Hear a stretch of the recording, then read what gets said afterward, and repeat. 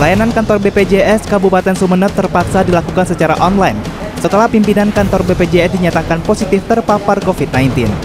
Untuk mengantisipasi penyebaran virus COVID-19, Satgas COVID-19 melakukan penyemprotan di kantor BPJS dan sejumlah rumah warga yang terpapar COVID-19. Kepala BPJS uh, Kesehatan Kabupaten Sumeneb terkonfirmasi COVID, maka kita lakukan sterilisasi.